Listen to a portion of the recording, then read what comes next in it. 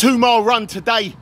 I'm going to be doing a, a running vlog with you, talking about running, talking about what running means to me, talking about how much I run and stuff like that. So I'm going to be doing a running vlog here on YouTube.